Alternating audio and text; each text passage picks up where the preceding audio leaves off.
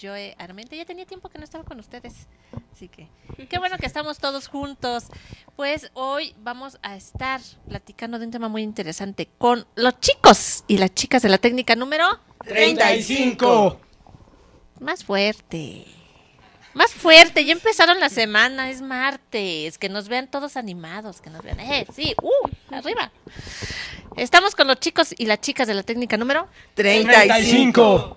Bueno, ahí va más o menos. Ahí va más o menos, este, porque si les pregunto a los maestros si así gritan cuando los maestros se salen del salón cuando termina la clase, de seguro me van a decir que no. Entonces, esto es para calentar motores, ¿sale?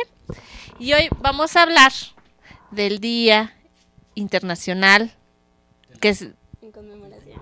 En conmemoración a los caídos del holocausto. a las víctimas del holocausto, un tema triste, un tema que pues bueno es el día internacional para recordarlos eh, de tantas situaciones que surgieron durante durante una guerra, durante una guerra, durante una situación social que pues bueno nos hace recordarlos hoy. Pero vamos a empezar a presentarnos, ¿les parece?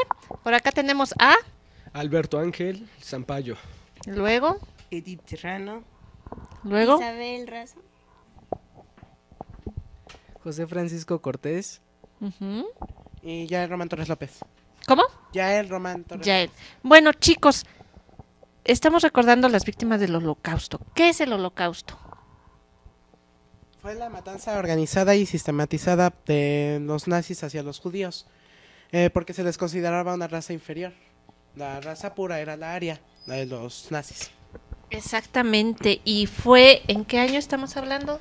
¿De qué? eh, no año, ¿de qué periodo estamos Eh, hablando? de la Segunda Guerra Mundial. Segunda Guerra Mundial, 1900. 30 y, bueno, empezó en el 38 lo del en, en el holocausto.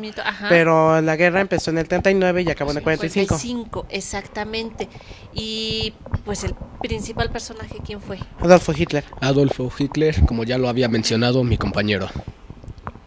Eh, y Adolfo Hitler creó estos campos Sí, de concentración, de que se hecho, convirtieron en campos de exterminio. adelante. Sí, de hecho, Hitler tenía una una imaginación tan, no sé, despiadada sobre que los judíos tenían la, la importancia o la culpa de que Alemania estuvi- estuviera sufriendo una crisis en, en ese país. Eh, daba a entender que los judíos eh, em- empezaban a, a enriquecerse, a tener este varios, varias empresas y pues Alemania estuvo en una temporada de, de pobreza y pues de varios desempleos, ¿no? Y pues sí fue algo algo feo lo que lo que pasó. ¿Qué más nos pueden decir de estos campos, chicos? Adelante. Ah, bueno, los principales campos de concentración fueron Auschwitz y Treblinka y Bachat. En Auschwitz, en la entrada de su campo de concentración, tiene una frase que es, el trabajo te da libertad, porque cu- cuando a los judíos los llevaban a los campos de concentración, decían que el trabajo les daba liberación, como los hacía que pagaran todo lo que supuestamente habían hecho mal durante su, su época en la que tenían mayores riquezas que los alemanes. Eh, también algunos de los grupos que fueron exterminados por Hitler fueron los polacos, los gitanos, algunos grupos como los religiosos, en sus religiones estaba la católica. Algunos católicos no tenían, bueno, estaban en contra de lo que estaban haciendo los nazis.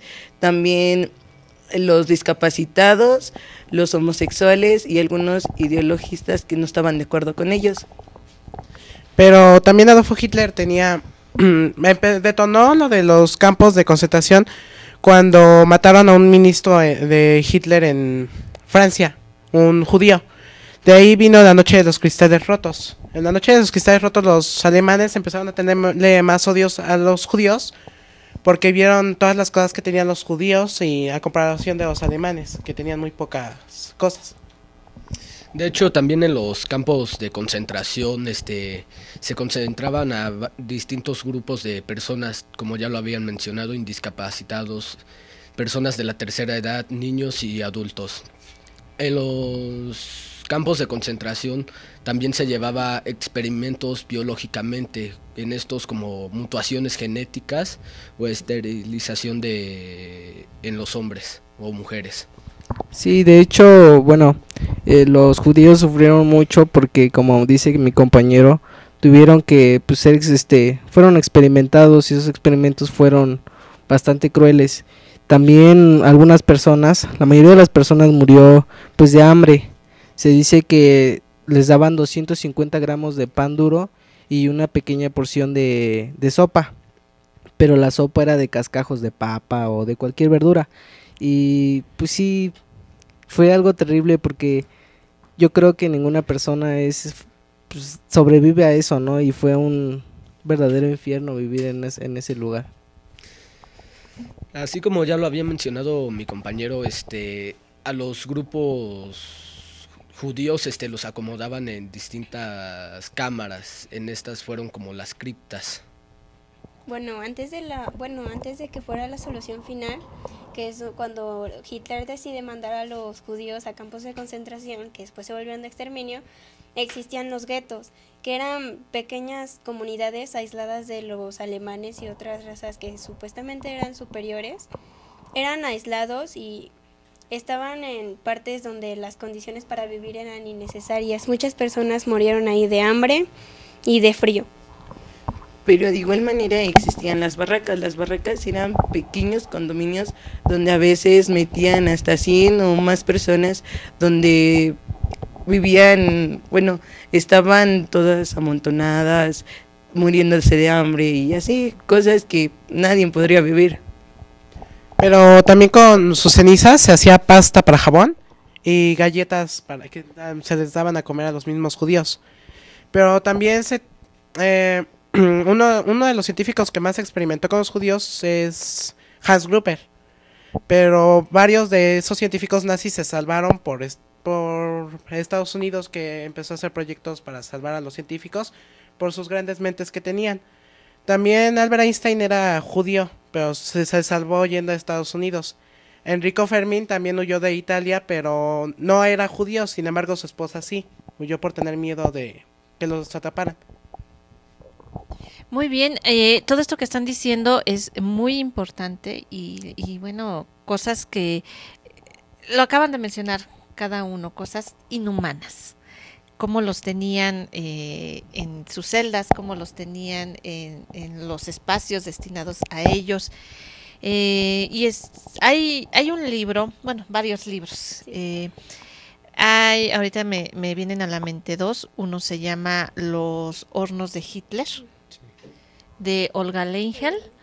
Y el otro es Yo fui médico del diablo del doctor Karl von Bereiter, donde dice que él, que él, era judío y que eh, pues entra a los campos de concentración y hace su grupo de amigos, pero eh, que como él era doctor, a él lo seleccionaron para que haga experimentos con la gente. ¿Quién, mencionó lo de los experimentos también? Por, este que, que se hacían experimentos con los prisioneros. De hecho, sí. Eh, experimentos como eh, no sé, para, para, para, para los soldados, ¿no? Por ejemplo, si los soldados iban en, en la nieve, en el, en el invierno, eh, y cuando regresaban a, a, su, a su lugar, tenían que encontrar, es uno de tantos ejemplos, ¿eh? tenían que encontrar la forma de subir la temperatura del cuerpo para que los soldados no murieran de hipotermia. También no sé si han visitado el museo que está en la calle de Venustiano Carranza, el Museo del Horror, eh, donde hay una, un apartado de los líderes más crueles del mundo. Está entre ellos Hitler y menciona, sigue mencionando lo del jabón. Entonces sí es muy triste todo esto. ¿Qué más nos ibas a comentar? De hecho, también este no solo se llevaban mutaciones genéticas de mutaciones, eso también eh, por lo de que querían hacer la raza más pura. De hecho, sí. De hecho, sus experimentos consistían en que los alemanes querían hacer su raza pura, libre de enfermedades y hacerlas, digamos, los ejemplares. De hecho, ellos, ellos querían este, a personas al, güeras y rubias. Sí, de hecho creo que una parte que fue un poco, un poco dura fue con los experimentos que hacían con los gemelos, los niños pequeños. Ah.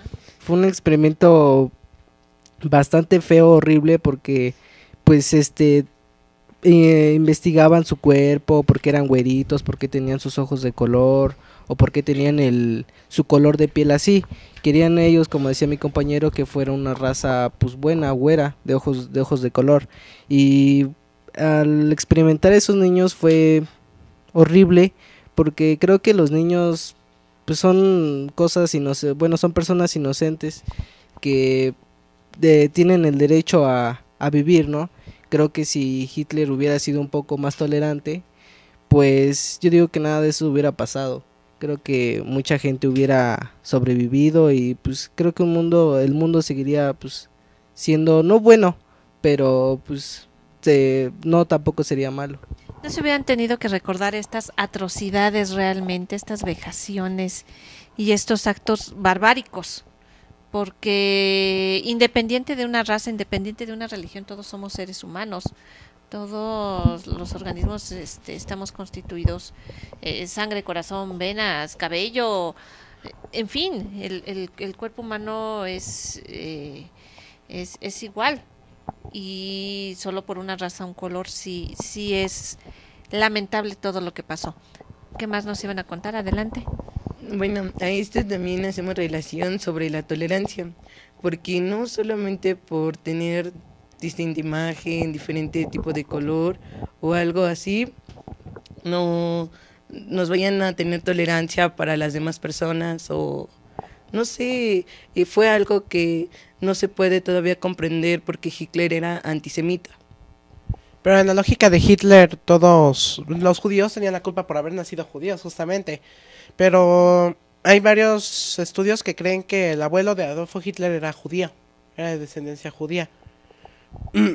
Pero, pues sí, fue muy cruel lo que hizo él, pero también quería avanzar en la medicina también, porque quería ver si se podían trasplantar órganos a otras personas las, bra- las extremidades, las bra- los brazos, las piernas, pero no, no es posible aún así. Pero los soldados, para ver si resistían las altas, las altas temperaturas frías, querían ver si podían revivirlos con rayos ultravioleta. Pero no se podía, ya que estaban muertos, simplemente ya había muerto el organismo. Claro, Hitler hizo... ¿Nos ibas a contar algo? Es que luego yo hablo, y hablo, y hablo, y hablo, y, ya no los dejo hablar ustedes. Quítenme la palabra, de verdad. Este, no, sí, se hacían los experimentos, eh, como lo comentábamos, eh, digamos, agarraban a sus conejillos de indias, a los prisioneros, para que Hitler pudiera cuidar de cierta forma a sus soldados, a los que estaban en el, el campo de batalla, a los que estaban eh, em, matando y matándose eh, en esa desastrosa guerra mundial. ¿Qué más nos iban a comentar? Em, bueno, existen muchos testimonios, muchos libros, este, películas que te dan cierta parte de lo que pasaba en esa época. Pero como todos sabemos, para atraer la atención de alguna persona, a veces necesitamos agregar términos o otra versión, como las versiones de Hollywood o de distintas partes de cadenas discográficas, cinematográficas, para agregarle tensión. Pero en sí la- lo que se redacta o se ve en las películas es solo una pequeña parte de todo lo que le hacían a los judíos, polacos, gitanos, porque las atrocidades no se pueden, no se pueden repetir en una película, porque no es lo mismo estar viendo una representación que estar viéndolo a carne propia o leerlo. Claro, ¿y qué, te- qué conmemoraciones, qué se va a hacer para recordar en este día a, a los prisioneros, a los, en los campos de concentración? Una, pues, podría ser respetarnos y dar tolerancia a las demás personas, querernos porque todos somos humanos. Nadie por, por tener distintas capacidades o diferentes maneras de ser, vamos a discriminar a las personas. Sí, Eh, de hecho, para conmemorar es- este mismo día, la ONU en el 2005 lo declaró como el Día Internacional en conmemoración de las víctimas del Holocausto. Pero fue desastrosa la Segunda Guerra Mundial, costó miles de vidas y no nunca se va a poder retomar, nunca se va a poder revivir en carne propia lo que pasó porque simplemente es una pequeña parte. Claro, y me refería a las, las conmemoraciones, bueno, en Auschwitz es eh, de los principales donde se van a reunir los sobrevivientes, eh, pues no solo del holocausto, sino también de la guerra. Y bueno, se llevan flores, eh, digamos, eh, que van a estar ahí recordando a, sus compañeros, a sus amigos, a sus familiares eh, que perecieron. ¿Qué más nos ibas a Bueno, comentar? existen muchos videos en YouTube y en, bueno, en internet, que, que sí, cuando es el, la conmemoración de este día, eh, los campos de concentración, los que siguen en pie o ahora son museos, se llevan flores a las barracas o partes en las que eran el exterminio total y en algunas partes de Alemania se ofrece una misa para todos los caídos. Pero la verdad, pues no puedes con flores. Bueno, sí, no es una conmemoración, pero nadie arregla lo que hizo Hitler. Nadie, bueno, comienza a tener miedo a, a sus familiares que cómo padecieron con Hitler, ¿no? Todo fue un, una catástrofe que nadie se imagina que vuelva a pasar. No, ya no tendría por qué pasar. Ya tuvimos esta experiencia, el mundo tuvo ya esta experiencia de horror, no, no creo. O no sabemos, bueno, el, el ser humano a veces es tan indescriptible que... Pero bueno, adelante. Sí, como usted decía que el ser humano a veces este no, no se sabe qué es lo que piensa, cómo va a, reaccionar sobre, sobre cosas, ¿no? Eh, eh, por ahí busqué información, dice que Hitler leía libros que tenían que ver, pues no, vamos, un poco más de, no era religioso, sino que hablaba sobre cosas demoníacas. Por eso dice, dice que él tenía la facilidad de envolver a la gente a su propio país, tenía esa facilidad de hablarles claramente, de, pues de que ellos tenían la razón, que ellos tenían la razón, que las demás personas eran pues inferiores, ¿no? Y pues eso. Eso es, tocaste muy bien ese punto, porque sí, cometió mucha barbarie, mucho horror, mucha atrocidad, pero había gente que lo quería. Había gente que estaba a favor de, de Adolfo Hitler y, y el Partido Comunista. Sí, de hecho él tenía esa mentalidad de clasificar a todos. De hecho, a las personas que tenían más de dos abuelos este judíos los mataban, aun así fueran este alemanes.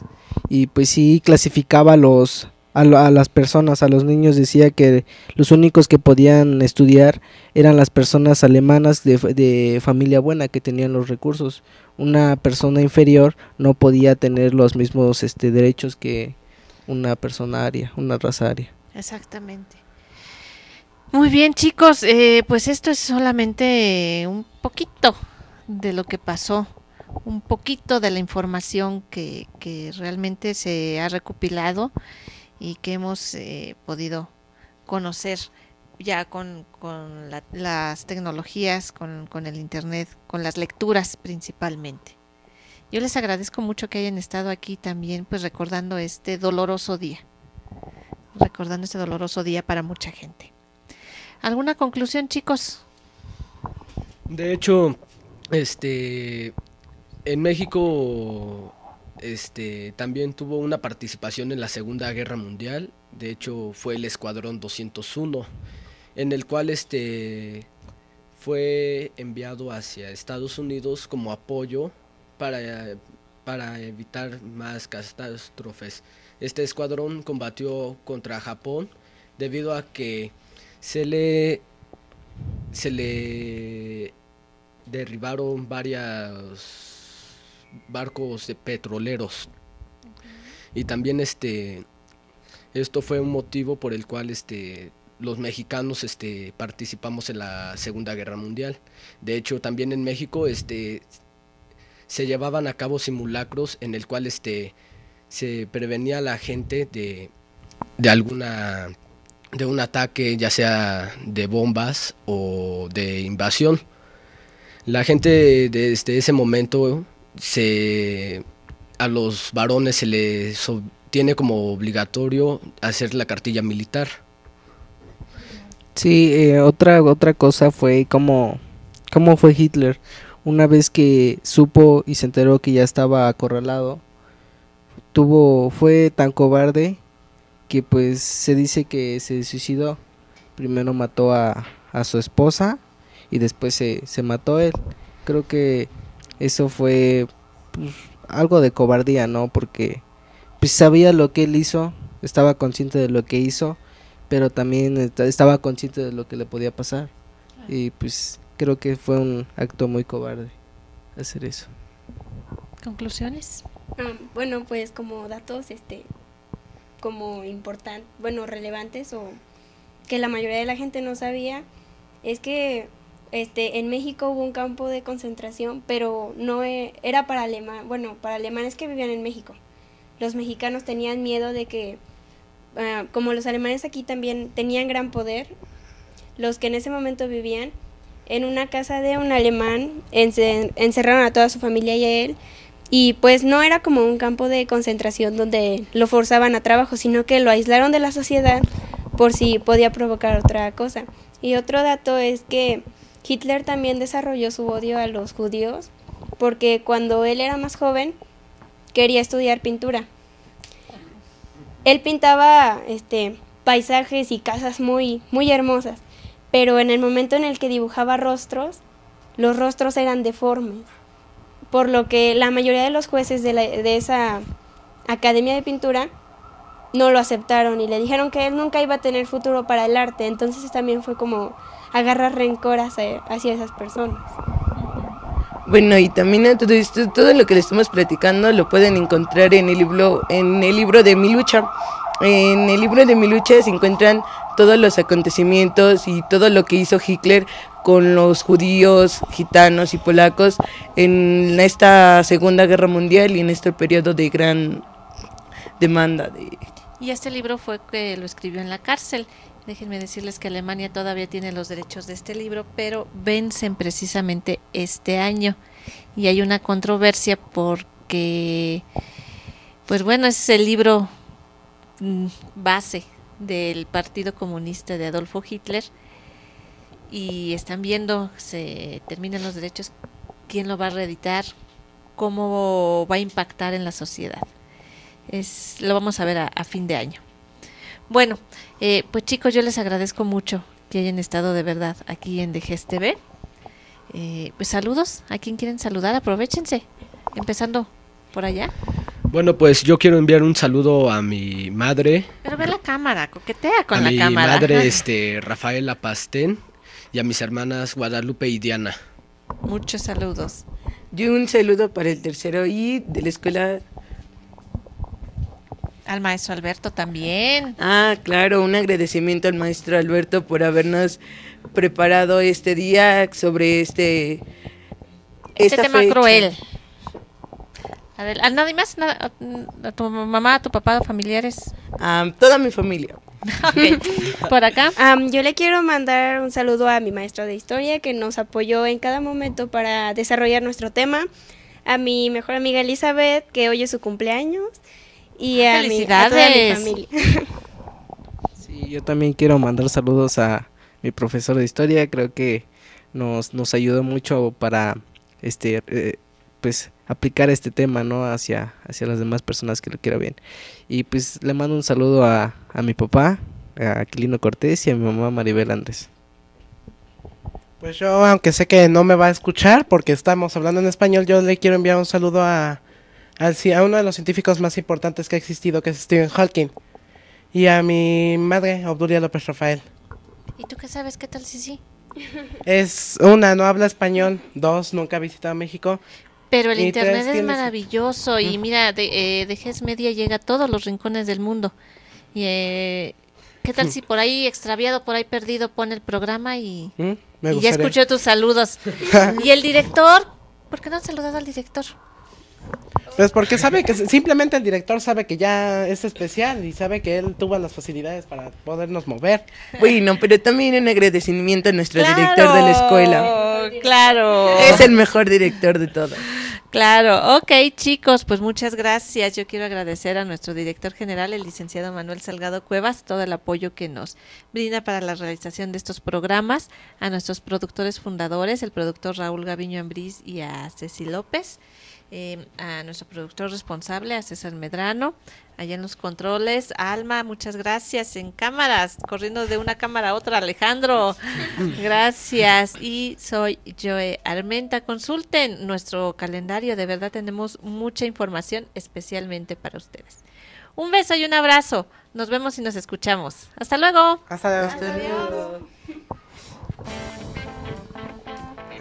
La música transforma historias en canciones con las que nos identificamos.